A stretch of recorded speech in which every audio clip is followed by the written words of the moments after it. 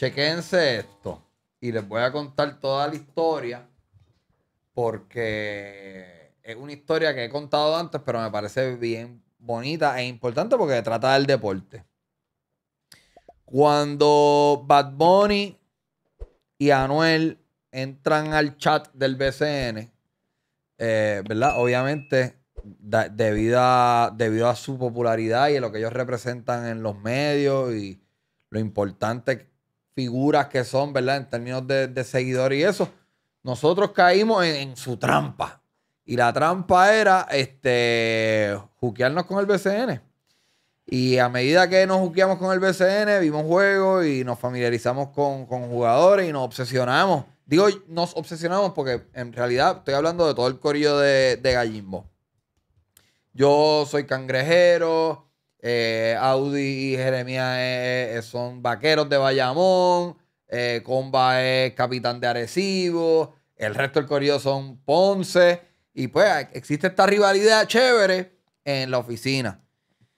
Y de buena primera, y by the way, le voy a preguntar cuánto tiempo ellos llevan, pero yo me entero de la existencia de una paginita llamada True Buckets. Y True Buckets están ultra rompiendo. Es más, les voy a enseñar un video aquí eh, para familiarizarlo a ustedes de qué es lo que está haciendo True Buckets. Pero para que tengan una idea, True Buckets es un. Es una marca que hace contenido de baloncesto callejero y hacen diferentes eventos. De hecho, este próximo domingo van a estar en Peñuela, en la cancha Miriam, Betty, Segarra. Hablamos de eso ya mismo, pero chequense este video. Esto fue en Cagua.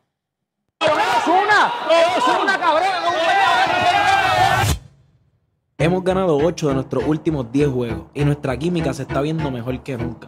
Con eso dicho, era hora de ponernos a prueba y decidimos llegar a Caguas, Puerto Rico. Donde allí nos esperaban un grupo de jugadores Yo te cargo en el canal y te rompo uno para uno, para que sepa. Entre ellos, Cristian Torres, tercer mejor anotador en la liga puertorriqueña. Jorge Sangre Frío Orozco, uno de los mejores francotiradores en las ligas menores de Puerto Rico. Y por último, Cristian Cuco actual jugador del baloncesto superior nacional. De cara a uno de los mejores equipos que hemos enfrentado en el canal y respaldados por los cientos de fanáticos que habían en la cancha, nos preparamos para lo que iba a ser una guerra.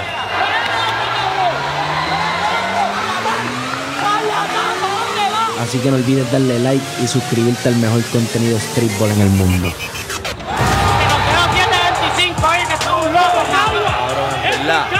Cualquiera se pompea, señoras y señores, directamente de True Buckets. ¡Juanmi! Bienvenido nuevamente. ¿Esto es uno de los mejores videos que ustedes han hecho o...? Hecho definitivamente, sí. Y, mi intro favorito yo creo que by far. Así yo me senté con Gaby Santos y papi, ese intro de, mi, de mis favoritos 100%. Y se debe, obviamente, siempre es bueno tener un rival. Claro. O sea, se debe a. Porque el video, las estrellas del video son un poco los rivales. Sí, sí, sí. No, son, chamacos que son conocidos en diferentes ligas de Puerto Rico. Este, Jorge Orozco, que está actualmente pues, con la puertorriqueña y pues ya mismo va al BCN, si Dios lo quiere. Cristian Cuco López, que está, en la BCN, y, Cristian Torres, que está jugando en la puertorriqueña también. Son chamacos que los conocen en Caguas de toda la vida y pues mucha gente los conocía y pues tenía que hacer los personajes principales del evento, sí o sí. Y me encanta que en el video, cabrón, yo invito a la gente aquí a contar cuentos. Yo siento que a mí lo que más me gusta hacer aquí es contar cuentos. Y el cuento eh, empieza bien temprano en el video. Dice, hemos ganado 8 de los últimos 10 juegos. Y como que cuando, cuando, si, si yo estoy viendo un contenido de X deporte y me dice, hemos ganado 8 de los últimos 10 juegos, me está un poco vendiendo casi una liga. o una saga. Claro. True Buckets es parte de una liga. No es que sea parte de una liga, es que pues yo, obviamente cada, cada video que yo subo es como un episodio, es un capítulo de, puedes decirlo como si fuera una serie de, mm. ya sea de Netflix o algo así. Y pues últimamente, pues al contenido pues ya expandirse más alrededor de Puerto Rico y más, gente sabe de nosotros, pues ya no vamos a jugar con, con Chepito de la esquina ahí en, la, en, en cualquier cancha. Ahora van a traernos a los jugadores duros de todo el pueblo. Y los chamacos que yo tengo, o sea, son panas míos de toda la vida, que nunca jugaron profesional, nunca llegaron a ligas más grandes ni nada. Y, y ahora nos están recibiendo en cancha chamacos semiprofesionales, con uno o dos profesionales, que son una excusa. A mí me encanta porque ahora, ahora la, la competencia es mucho más y nos probamos en la cancha. Eso, eso- Pero eso ustedes están queremos. más afincados porque ustedes son un equipo que juega más. Claro, claro. Estamos ya, la química de nosotros está, hem- hem- hemos crecido, pero eso es lo que nos está ayudando a ganarle a esos equipos que a veces son mejores que nosotros, que ya nos conocemos un montón en la cancha y pues eso nos ayuda también a... Sí que a sobresalir a usualmente veces. lo que estoy ah, más o menos entendiendo es que jugador por jugador frecuentemente se, ¿verdad? Sin tirarle a los, a tu- los talentos de True Buckets, pero jugador por jugador a veces son mejores. Nosotros somos bacalaos, nosotros somos unos bacalaos. O sea, yo, yo siempre fui promedio en, en- en- en mis equipos, yo nunca era el caballo del equipo. Este, estoy seguro que, que lo- los muchachos que hablen por ellos, pero ellos pueden decir lo mismo. Que ninguno era el que el caballo de su equipo. Bueno, Skyman en, en, en high school, pues en- estaba, estaba por encima. Ahora pues tiene sus 40 años, que ya es otra cosa, pero, pero sí. O sea, nosotros siempre hemos sido del montón y nosotros queremos que la gente se identifique con, e- con ese tipo de, de nivel de talento, porque esos son la mayoría, no son los que llegan a BCN, no son los que llegan a profesionales, son la minoría. ¿Cuán complicado sería organizar un campeonato? Como así, un O sea, campeonato como de- que estoy volviendo a lo de 8 de 10 juegos. Y yo sé que es una serie y yo sé que son contenidos. Y sé que existe la liga, la Puerto la Puertorro, ¿no? La puertorriqueña, que es como una Sí, es de liga pueblo, de profesional, pueblo. pero es profesional. Exacto, semi, semi profesional. Eh, que quizá otras ligas digan como que, no, tú no puedes tener un campeonato. Porque te- si hay un campeonato, significa que hay una liga. claro. ¿Eso existe en el, en, la- en el universo de las posibilidades o no? Definitivamente, definitivamente lo veo pasando y eso es algo a lo que quiero que Trubuques evolucione eventualmente, que cada pueblo pues tenga pues como quien dice su franquicia de streetball, el torneo me imagino que iría por alguna línea de streetball, como que quiero mantenerlo ligado a, ese, a ese tipo de contenido, pero sí, lo veo pasando algún día de, de- de que cada pueblo tenga su equipo y cuadrar un torneo ya sea a nivel Puerto Rico, a nivel isla, lo veo pasando 100%, pero ahora mismo no está, no está de esa Claro. manera, es que son episodios, Pues cuando suceda, por favor, vuelve para que nos cuente. Ok. claro que sí. Este domingo en Peñuelas, cancha Miriam Betty Segarra. ¿Qué es lo que va a estar pasando allí? Bueno, vamos a estar dándole para llevar a, la- a los locales de Peñuela. Así que los que quieran darse cita y ver esa, ese 3-0, porque nos tenemos que ir 3-0, 80, porque lo que, lo que yo mencioné del, de que llevamos 8 de, de las últimas 10 es que, papi, en los comentarios nos cogen, brother. Ah, ustedes no le ganan a nadie, que sí, papi, váyanse a hacer cumpleaños, que ustedes no, no le ganan a nadie, que sí, qué sé yo. Eso es lo único que nos, que nos tiran, ¿entiendes? Ok. So, ya So, nosotros la lo gente cogemos... goza cuando pierden. Tacho, que si la pasan bien. No, brother, eso, es- eso, es- eso es lo favorito de ellos. Y pues ya nosotros pues sabemos que vamos en contra de eso. O sea, si ustedes no quieren esto, tenemos que ir a ir 3-0, porque ya no es ni ganar 2 a 1, es 3-0. Desde, desde que pasó la guerrilla del hormiguero, que nos barrieron 3-0, tacho, nos cogieron en las redes, papi, nos, nos hicieron canto. Y, y ven acá, wow, qué interesante eso. Cuando ustedes van, cuando ustedes vayan a Peñuelas, Ajá, ustedes van a ser recibidos allí como el equipo visitante. claro. So, la gente abuchea a Buckets y celebra a, a Peñuelas. Ustedes son los malos. Exacta- y eso ha ido cambiando bien loco. qué Pero duro. Para que tú veas, porque, o sea, lo, como este contenido lo han adoptado los niños, pues nosotros llegamos y los chamacos de mi edad para arriba nos abuchean. Pero los de mi edad para abajo están truboque, truboque, porque no conocen los chamacos locales que juegan de arroyo. Pero los que ya son de mi edad para arriba están conscientes que sí, yo quiero que mi pueblo le gane a truboque. Pues ya yo he visto como la mayoría de la gente, pues ahora es, sí, nosotros somos los visitantes, pero antes como nada más llegaban los chamaquitos a vernos, pues éramos los locales en donde quiera que fuéramos. Pero ahora somos los visitantes, porque ahora Ah, va pero más eso es gente. mejor. Sí, sí, definitivamente. A mí me encanta. A mí me encanta se- sentir ese fuego. Yo estoy aquí esperando la bola y tengo tres personas aquí atrás gritando, ¡ah, que no la tira! ¡Tú no sirves! Esto y lo otro. Y está chévere bregar con eso. Está chévere. He tenido que acostumbrarme también. a- So, tú, obviamente, si, si tú llevas, tienes este, este canal y llevas toda tu vida jugando, tú eres una persona eh, más competitiva que la persona promedio. So, tú, llegas, tú en realidad quieres coger, ¿cuál es el equipo? Arroyo. Ah, eh, Peñuela. Peñuela. Eh, tú, ustedes van a tratar de destruir a Peñuela en su cancha, con su gente allí. Los que van a representar a Peñuela es una página que se llama Hoopson, que también es una página que crea contenido aquí en Puerto Rico. Este, y ellos son los que van a representar a- al pueblo de Peñuela, que ellos son como que ese equipito local de allá de Peñuela, así que ellos son los que van a estar. Hoopers. No, esos son, esos son otros. Ho- ok, pero ¿cómo se llama? ¿Cómo se llaman los de Peñuela? Hoop Zone. Hoop. Y ellos hacen contenido también. Y Hoop ellos Zone. también hacen contenido un poquito más de como que campamentos para niños y ese tipo de cosas, pero están llevándolo también como en el, en el. Wow. Ok, quiero enseñar un video aquí de Joaquín Noah. Chequense esto. Esto también, en verdad, esto es bien especial. Y creo que esto se llevó a cabo en una cancha que hay por la placita, ¿no? Correcto. Chequense esto. NBA Defensive Player of the Year Award trophy to My Noah. guys over here getting buckets, man. True buckets. Love. Me out here in San Juan, Puerto Rico with the fellas. That's Joking Noah right there, bro. Pero estos son los creadores y hay que respetar a los creadores, así que.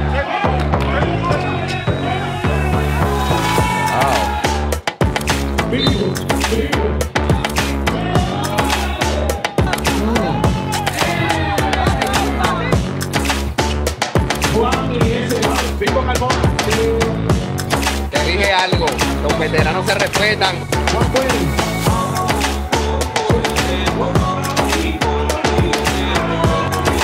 Este es el mejor contenido de guerrilla en Top R.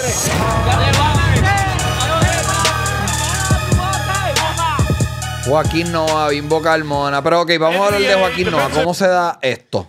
Pues, mano, eso fue gracias a Mario Villay, que fue el que me hizo la invitación a, a ese evento, que fue el que lo, como quien dice, lo organizó como tal.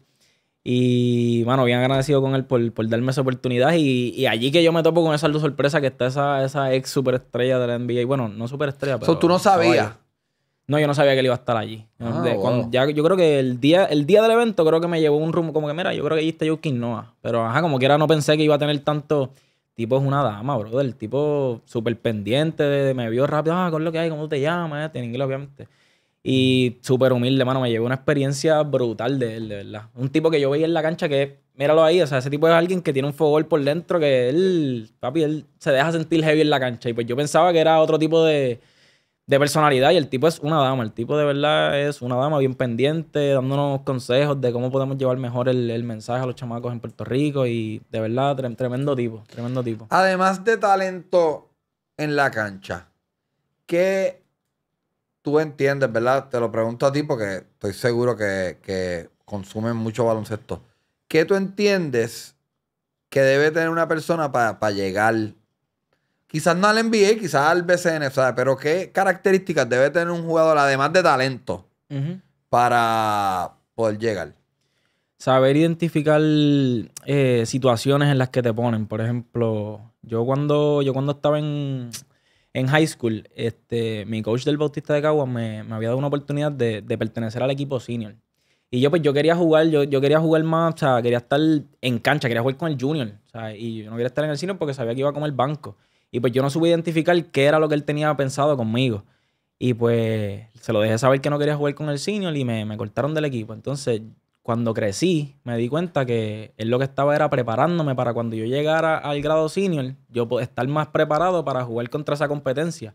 Que eso me hubiese ayudado un montón. Si hubiese jugado cuatro años con el equipo senior, ya cuando yo hubiese estado en 12, iba a estar mucho más preparado. Pues yo no lo vi, yo no lo vi de esa manera. Yo quería estar en cancha. Y pues de grande, pues me di cuenta que, que mi carrera tomó otra, otra ruta por esa pequeña decisión que yo tomé al principio de, como quien dice, de mi carrera de baloncesto, porque hubiese, esta- est- eh, iba a estar preparándome para un baloncesto más serio, más competitivo, o sea, iba a tener ¿Te más arrepientes? nombre. No, no me arrepiento, porque si hubiese tomado esa ruta, True Walker no hubiese existido hoy, porque yo hubiese Mm. estado tratando de llegar al BCN, a la NBA, ya sea a la G-League, Europa, y pues por irme por la otra ruta, que fue, pues mira, pues quiero jugar, quizás quiero jugar más baloncesto para diversión, no tanto para llegar lejos, pues me terminó pasando lo, lo mejor que me podía pasar en mi vida, que, que es lo que tengo ahora, que es la plataforma de Truboque, que puedo impactar miles de personas, o sea, miles de niños que, que les gusta el contenido que estoy haciendo, gracias a Dios, que ellos son los que han adoptado este contenido, son los que, los que lo tienen así, como quien dice. Como trending. ahorita mencionaste que ahora cuando vas a las canchas, eh, ¿verdad? Y yo estoy seguro que esto no es exacto, pero una, un rule of thumb es los que son menores que yo son Team Walker, los que son mayores son Team La Casa. Sí, es, So- esa es la mayoría de las veces. ¿Hay algún, cuál es el, el promedio de quién es la mayor cantidad de personas que te ven? Es que, ¿cómo te explico? ¿Cómo es el perfil de la persona que consume True Buckets constantemente? Es que, por ejemplo, esta última guerrilla que yo fui en Arroyo, habían como, habían como 300 personas. De las 300 personas, como 200 eran adultos. Pero eran porque estaban trayendo a sus hijos. Así que no, sé- no sabría qué decir. Ah, Hay más adultos que niños en la cancha. Pero los que de verdad están metidos en la cancha y, y- los chamaquitos pidiendo fotos, este, queriendo hablar con uno y todo eso, son los, los nenes de, digamos, de 15 años para abajo, de 18 años para abajo por ahí. Que son los que de verdad, hacho, les gusta un montón el contenido. Y en verdad, eso, yo no lo puedo ni creer. Eh, ahí en ese video vi a Anonymous, vi a Mario VI, en tus contenidos regularmente vemos a Osuna. en el último juego de... est- Cuando nosotros hablamos, ya había pasado el, el juego de, estre- de, de celebridades. Que estuvo Mayweather, que estuvo La- el Papi. Eh, sí, la, la primera vez que hablamos, no. No, La primera vez que hablamos, no, eso no había pasado. A mí me impresionó mucho ese, el nivel de, no sé si de juego, de talento, pero el nivel de competitividad que hubo Sí, se acabó en la línea ese juego. en ese juego. Fue un juego de celebridades bien interesante y bien divertido. Si tú tuvieras que escoger un top 5 de, y figuras de- del género, figuras de la televisión, o sea, es que quiero, quiero incluir a Mario. Si digo género, pues quizás la gente lo ve como más locutor, comediante. Ajá, ajá. ¿A quién tú pondrías? Starting 5. Starting Five para jugar de, de celebridad, influencer, lo que sea. Ok. Eh, ya, che. Tengo que irme. Tengo que irme con Mickey. Vamos a sacar eso del camino. Mickey y Osu. Definitivamente ellos están de. Los puedo tener corriendo a la 1 y la 2. Dame a, dame a Mario Villa en la 3 de Churel. Quiero tener un tipo consistente tirando. Este. 4 y 5, 4 y 5, 4 y 5. Pues vamos. Vamos a irnos, vamos a irnos con Benny. Con Benny en la, podemos poner a Benny en la Ok. 4, un joseador. Este, y para la 5, no hay muchos que son altos, pero Hacho, ¿sabes qué? Se la voy a dar a, a Marion, que José le está dando el gym, lo he visto dándole al gym y todo eso. Marion? A Marion, a Marion, está activo también. Lo puedo poner ahí también a White. Vamos a poner a Benny en la 5 y ponemos a Marion en la 4. Ok, wow, qué duro, cabrón. Ahí Es un buen equipo. Sí, sí, eso, eso un buen creo que. equipo. No, no he jugado todavía con Gabriel MC, que me han dicho que juega, juega muy bien. Estoy loco por jugar con él. Gaby Santos jugó con él hace poco, pero no he podido jugar. Él también es duro. Él es sexto hombre. Podemos Y él estaba, él estaba en ese en juego. Sí. Y, Y, y- wow. y jugó duro, jugó duro. Este, es que también interesante. Yo una vez jugué en uno de McDonald's. Y pues, cabrón, yo jugué de chamaquito baloncesto mucho en- en- por mi casa. Y también estuve en equipitos bien eh, adolescentes, qui- 13 años, maybe. Ya después descubrí el surfing y en verdad lo abandoné. Ajá. Pero yo metía bola. O sea, yo dije, ok, han pasado un montón de años, pero dame la bola, yo lo voy a meter. Y el factor público en aquel torneo, yo me cagué bien. Cabrón, es bien intimidante. diferente, es Por eso es que cuando, cuando yo hablo con boxeadores que, que, que no han... Está, que no, el otro día nosotros tuvimos una cartelera y tuvimos tres peleas aficionados. Y yo me sentaba en las peleas, tuvieron cabronas, pero me gustó que chamaquitos jóvenes es- exploraran cómo es pelear en un cuadrilátero con luces, Claro. con público, con cámara, con, con comentaristas hablando de la pelea. Eso es otra cosa. Sí, definitivamente. Y ustedes experimentan, o sea, me acabas de decir 300 personas. 300 personas es mucho en más una que cancha pequeña, en una cancha que, que no estaba. Y o sea, gritando mierda a todo el mundo. Exactamente, exactamente. ¿Qué cambia? ¿Qué hace que la que cuando tú evalúas a un jugador, parte de soportar esa mierda? Sí, sí, definitivamente. por lo menos en este, en este, en este espacio, que no es, no, lo- los fanáticos no están en, lo- en, en los bleachers, los fanáticos están metidos dentro de la cancha. Los fanáticos no están allá, ellos están con nosotros. O sea que Ah. si yo me echo un poquito para el lado, ellos me pueden empujar o lo que sea. Y pues. Me acuerdo la primera vez que tuve la experiencia de jugar en una cancha llena, que yo no pensaba que se iba a llenar, que fue para lo de Alex en la perla. Que, que- o sea, fue mi primera vez viendo una cancha así llena alrededor. Yo recuerdo cuando esa bola a mí me tocó las manos, que yo empecé a bajar y a mirar hacia el frente, que o sea, está no hay uniforme, mi equipo no tiene uniforme, el otro equipo tampoco tiene uniforme, están con su ropa regular y pues todo el público alrededor, ellos se me, o sea, literalmente yo no vi a nadie, yo no veía a nadie porque se camuflajeaban con la gente que estaba en el fondo. Yo voy bajando la bola y yo digo, pues, ya che, no, literalmente gente no veía a nadie. Yo digo, pues voy a tener que tirar la bola porque no veo, tira una porquería que fue como que ese momento de que, ya che, mano, pero yo, yo no, no estaba ready para jugar contra tanta gente y eso fue algo bien loco. Eh, Dalex me invitó a ese juego. Me acuerdo, me acuerdo. Dalex me invitó, no me acuerdo porque no pude ir, pero me acuerdo de esa gestión. Inclusive, es bien posible que gracias a Alex yo me haya enterado de True Buckets. Puede que esté Sí, disparateando, pero es posible. No, porque eso fue como la primera cosa grande, ¿no? Yo estoy eternamente agradecido con Dalex. Él fue, él fue el primero, primero que me, que me contactó así como que, mira papi, conozco a Nick Breeze, este, lo voy a tirar para que vaya para acá. Y en verdad, el brother papi siempre estoy bien agradecido con él. La última vez que grabamos aquí fue, hicimos un contenidazo. un contenidazo intenso con Easy Splash. Easy Splash, me acuerdo que, que, que estaba tensa la cosa, inclusive antes de grabar. Yo estaba como que, vamos, vamos, cállate un ratito, cállense un ratito. Vamos a prender la cámara y prende eso. Fue bien awkward.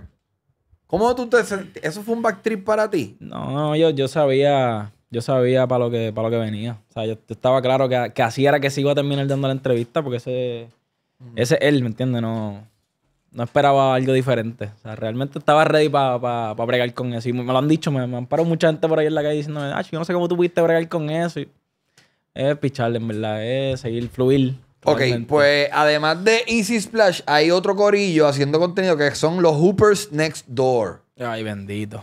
Ay, bendito. Esos van barridos también antes de que se acabe el año. Esos se van barridos. Y tienen a uno ahí, a la, a la antorcha humana, tú sabes, el de Carolina, a Yomar Cruz. Oh, Yomar, por favor, no sirve. Tirarle agua por encima de la antorcha es lo que vamos. Ay, soy campeón. Eres un. No, no, no. y- Eso- eso con el favor de Dios. dos o tres y me hago mierda. Antes de que se acabe el año, con el favor de Dios, ya nos encargamos de ellos. Que llevan ya hace rato. Porque yo estoy con. O sea, con el, el que lleva esa página, que es Marco. Baja, baja a veces, ha bajado dos o tres veces para mi urbanización a jugar. Y hemos salido de que arrancándonos las cabezas, de que empujones y todo por acá entre nosotros, porque en verdad el, el chamaco es fino y en verdad, pues, pero cuando se trata de básquet, en verdad los dos queremos ganar y es serio. Que ya le hemos, ya le hemos ganado dos veces y él viene a esta tercera, ya tú sabes, a querer, a querer vengarse, pero ahora viene con la antorcha, que ese ronca Ah, hasta más no poder. acaba de llegar. Lo que pasa es que él no podía jugar constantemente con él porque él tiene sus compromisos de juegos en otros lados y qué sé yo, y ahora está roncando de que están con ellos y ahora pues vamos a tener que aplastarlo también porque el de No, nosotros es bebote. Yo, yo, yo soy admirador de él. Y era, era, lo sigo desde que estaba en Ponce. Ajá. Obviamente el corillo es bien Team Ponce. Él es de Ponce, el Endox es de Ponce, Sengo es de Ponce. Luego cambia Carolina y pues la, son campeones, cabrón, un equipazo. Y los que saben, mucha gente me ha dicho como que son jóvenes, un equipo con, con profundidad. Esas son las palabras que usan los que saben. Eh, muy probablemente lleguen a la final este año también. Sí. So, este tipo es una amenaza. Y la antorcha está jugando con esos cabrones. Que Está jugando con ellos. Está jugando. Papi, no, en verdad es súper duro porque, mano, son chamacos BCN que pues creen en este movimiento que estamos, como quien dice, haciendo del, del street basketball, porque pues él es un chamaco de Lloren que también ha jugado, se ha criado jugando street basketball y pues que los chamacos lo vean a él jugando así, pues eso los motiva también de otra manera. ¿Qué, qué duro. Eso, esa la voy a ver también. ¿Qué, ¿Cuál es el protocolo? Si va a jugar True Buckets contra Hooper Next Door o Hoops, que son los de los de este sa- Ajá, sa- Hoops son. domingo en Peñuela, o contra Easy Splash. ¿Cuál es el protocolo del contenido? Como que, mira, mi cámara está, haz tú co- con tu cámara lo que tú quieras. O sea, hay, alguna conversación antes de, mira, tu cámara está en esta parte de la cancha, la mía está en esta otra parte. Sí, pues yo por lo menos, o sea, no es la mayoría de las veces que tengo que grabar contra otro creador. O sea, eso, eso son las minorías.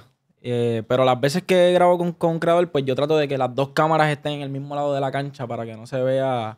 Es como ahora, que entiende que hay una, ninguna cámara está ponchando otra cámara. Ajá. Pues de esa misma manera, pues trato de que todas las cámaras estén de aquí para allá. Este, estar bien pendiente a que, lo- a que le- el audio no se, no se interfiera, porque todos los, los- los micrófonos de nosotros son wireless, que se puede interferir la, la conexión y todo eso. Y pues, más bien es eso, de tratar de, de llevarla que no, que no haya ningún error de producción ni nada de eso.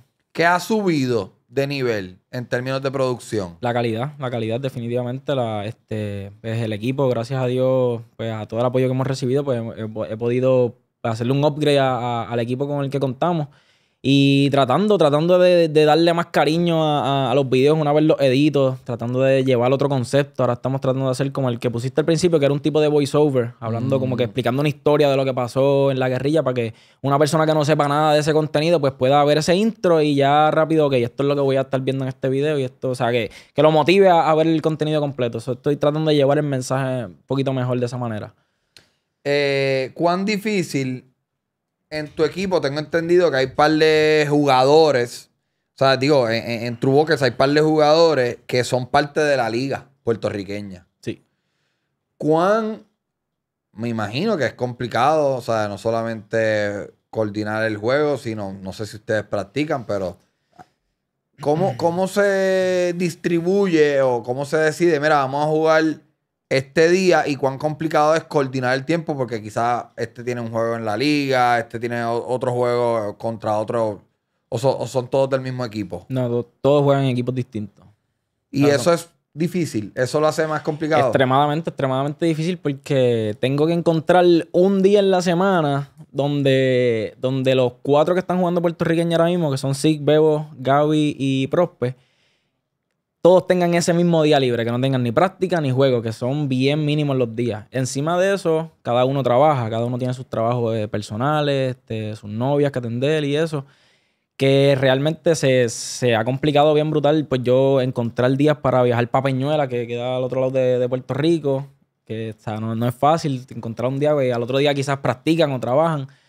Por eso es que quizás a veces le baja un poquito a subir más videos, porque no he podido grabar o sea, contenido a volumen. A mí me encantaría grabar dos contenidos a la semana, pero ahora mismo con la liga corriendo eh, realmente es, es imposible. Es imposible. Ahora mismo el- la consistencia es de uno a la semana. de uno a la semana. ¿Qué día roughly. tú subes? Yo trato de subir siempre los domingos, ese, ese es mi día. Y tú eres un adicto a como que yo soy un adicto a subir cosas. ¿Cuán intenso eres a la hora de verificar comments, este, monitorear cómo se está moviendo un video, no solamente en YouTube, sino en, no sé si están en TikTok, Instagram? Eh, trato- estoy bastante metido, estoy bastante metido met- eh, contestándole a, pues, a las personas que, que escriben cosas positivas. Me envuelvo también a veces con los negativos que, que dicen cosas que yo, pero ¿y de dónde te van a sacar eso, brother? Y termino contestándole y soy bastante, me trato de que nunca pase de siete días que yo sol- solté un video, soy bien, o sea, trato de ser bastante estricto con eso también y, como te digo, bastante pendiente en verdad. No ¿Y me tú- gustaría no quién pichar un poquito.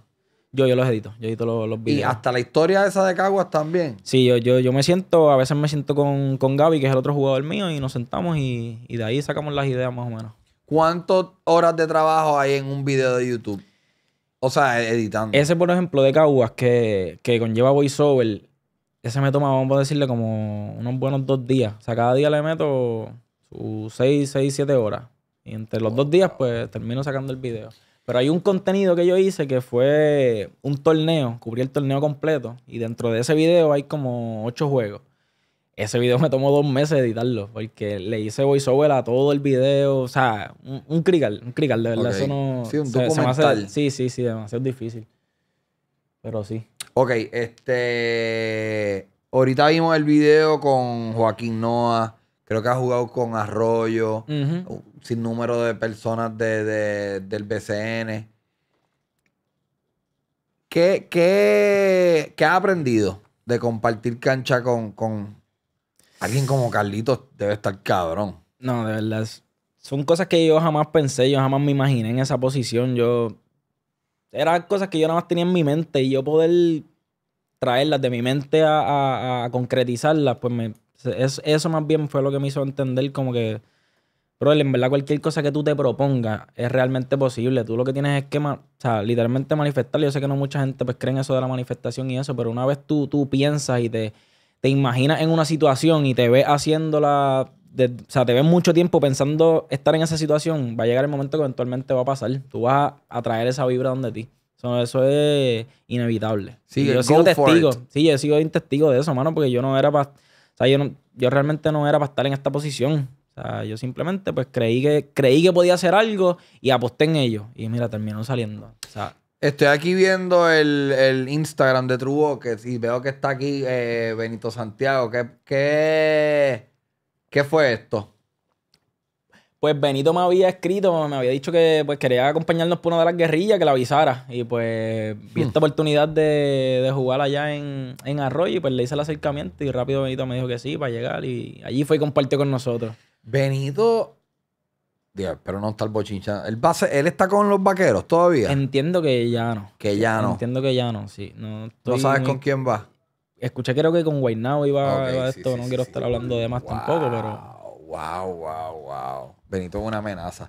Este, señoras y señores, este do- ¿hay algún flyer en el de esto de lo de. Sí, el blanco, abajo blanco ahí, pap. Ok, señoras y señores, este domingo Peñuela, True Rockets versus Hoop Zone. Esto se va a estar llevando a cabo en la cancha Miriam Betty Segarra. Ah, es de noche, a las 7 Sí, es de, la de noche.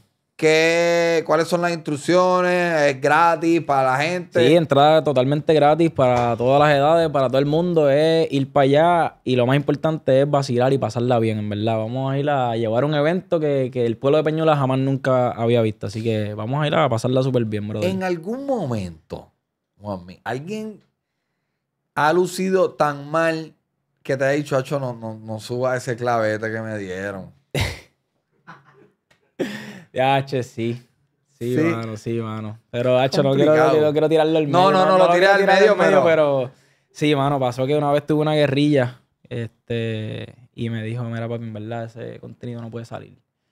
Y yo, pero, gordo, pero, pero tranquilo, estamos aquí jugando básquet, tranquilo, eso no importa. Yo también tiré dos o tres pastelillos y ya tú sabes, pues no tuve que, tuve que convencerlo. O sea, estuve un ratito abogando con él y hasta que logré, pues mira, dale, papi, tranquilo, pichá, pero hay que jugar otra vez. Me dijo, y después terminamos jugando otra vez y, y ahí lucí un poquito mejor. Wow. Pero sí, sí. A mí te lo pregunto, sabía que me iba a responder que sí, porque aquí ha pasado que es como, mira, este. Tuvo chévere la conversación y todo, pero no, Pero no a ver la luz del día nunca. Wow. Sí, mano. Ah, y otra cosa que te quería contar. Tú sabes, tú has escuchado de, del ESPN Fantasy. ¿Sabes lo que es el Fantasy? Sé lo que es fantasy, no lo estoy nunca he jugado, pero, o sea, no soy de, de fantasy sports, pero sé lo que es. Pues ahora va a venir lo que va a ser la primera aplicación de Fantasy en Puerto Rico, que va a ser para la BCN, obviamente para la Liga BCN, que es el brother mío de, de Caribe Fantasy. Que eso va a ser algo que, si Dios mediante, va, va a pegar igual que lo que, que el ESPN Fantasy, que eso va a hacer que los, como te digo, que los fanáticos de la, de la BCN se, se metan más al, al, al contenido de, pues, de, de la BCN como tal, porque hay jugadores de la, de la, del NBA que yo no conozco. Y pues como yo juego fantasy, pues mira, ahora sé quién es fulano de tal, porque quiero que, quiero que coja 10, 20 rebotes, lo que sea. Pues lo que va a hacer es que los fanáticos estén más metidos con la liga, ya que la liga está cogiendo ese auge, ¿entiendes? Y yo, Wow, va a haber una va a haber una liga de fantasy para el BCN. La Eso debe ser bien complicado hacer ese muñeco. Sí, sí, diseñarlo, diseñarlo. Todavía está, todavía está trabajando en eso, pero, pero el brother H, con el favor de Dios, va a romper en eso sí o sí. Y se puede apostar. No es con apuesta, o sea, tú puedes apostar, por ejemplo, si yo hago mi liga aquí con, con Skyman, Carlitos, tú y yo, pues entre nosotros podemos Lo decir. ah, coordinamos sí, acá. lo coordinamos acá y el que gane la liga se lleva el dinero, pero no a través de la misma aplicación como tal. La aplicación va a tener algo que va a ser daily, daily sports, eh, o sea, daily challenges, no son betting, porque no es apuesta, es como que nosotros cinco nos metimos, ok, vamos a decir, vamos a escoger un lineup y el lineup que más puntos meta, pues ese, ese, ese ganó la, la apuesta entre nosotros. Y eso va a ser la apuesta diaria en la, de la BCN como tal. Si vamos a ir a ver un juego de los cangrejeros y tú escogiste a, Wal- a Walter y yo escogí a, sé yo, a, a Palermo, que también, y Walter metió más, pues tú ganaste. Sería muy huele bicho de mi parte preguntarte de la misma manera que te lo pregunté con celebridades y figuras del género, ¿quién sería un starting five del BCN? Eh, starting five del Dream BCN. Team. DH. De jugadores actuales ahora mismo. Wow. Eh, pues, mano, en, en- en lo del Caribe Fantasy, siempre eh, me voy primer pick con Walter Hodge. Me- so- Ok, páralo ahí. Cabrón, ¿verdad que es el fucking mejor, cabrón? Papi, pero ahora porque está en cangrejero, ¿verdad?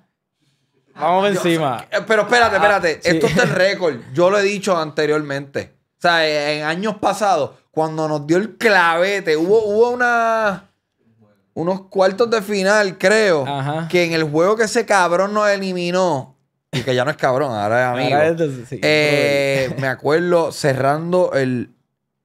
Creo que el segundo quarter metió un canasto como desde media cancha, el estúpido ese. Pero ya no es estúpido, pero yo, yo le he dicho que era el mejor antes de eso. Eso está en récord. Pero ajá, lo pondrías primero. Dame a Walter, dame, dame de dos. DH. Esta última temporada que tuvo este Tremont Waters. Yo sé que él también es poingal, pero mano, no puedo dejar pasar un tipo como es. Es que, mano, los poingales de esta liga están tan duros. El otro es Angelito. ¿Entiendes? Que son tipos que no, no, no quiero dejar en el banco, pero, pero sí, me voy, me voy de esos tres gares. Angelito, Walter y Tremont. Y entonces dame a DeMarcus y a, y a Hassan. A DeMarcus y a Hassan Weiss para complementar ahí en... ¿Tú llegaste a jugar con alguno de esos gares previo a True Buckets? Walter es Mm, mayor y pero y Tremont pues jugó afuera. Pues no, no he tenido la oportunidad de jugar con ninguno de ellos. He jugado con varios jugadores BCN, pero no, no de esos, no Walter ni Angelito. Ni, que me gustaría tener una oportunidad de jugar algún día con ellos. Que quiero llevarlos por una guerrilla, quisiera que fueran parte algún día. Así que Walter, cuando quiera, papi, vamos a darle. Ahí lo tienen, señoras y señores. Sigan a True Buckets en todas las redes sociales. En Instagram son true.buckets, pero en YouTube son True Buckets. Sí. Este, algo más que quieras anunciar, que viene por ahí. No, eh, pendiente, pendiente la- lo, que, lo que menciona, la aplicación de Caribe Fantasy, que eso va a estar con el favor de Dios para la próxima temporada que viene ahora. Así que vayan y sígalos también en Instagram como Caribe Fantasy. Así que Me ahí. gustó la roncaera Hoopers Next Door, incluyendo a la antorcha. Van apagados, van apagados. Suave, Corillo, ¡los amo! Ready.